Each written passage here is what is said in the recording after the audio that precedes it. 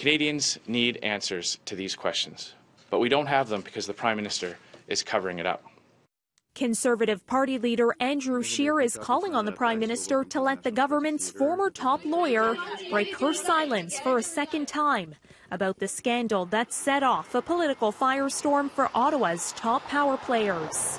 And I am here today with a simple message Justin Trudeau must let her speak. Today, the Conservative Party launched a website, letherspeak.ca, to increase pressure on the Liberals to lift all the constraints over solicitor client privilege and cabinet confidence for Jody Wilson Raybould. And only after intense pressure from Canadians did Justin Trudeau even partially allow Ms. Wilson Raybould to speak.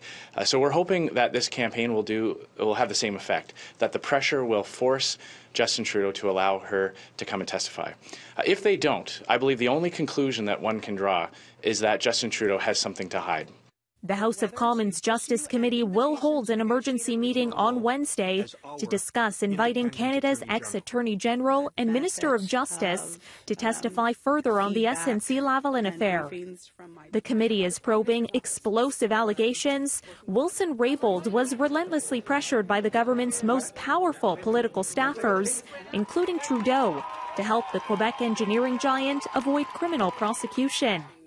The controversy has seen cabinet ministers Wilson Raybould and Jane Philpott, as well as Trudeau's right hand Gerald Butts, resign in a cloud of scandal.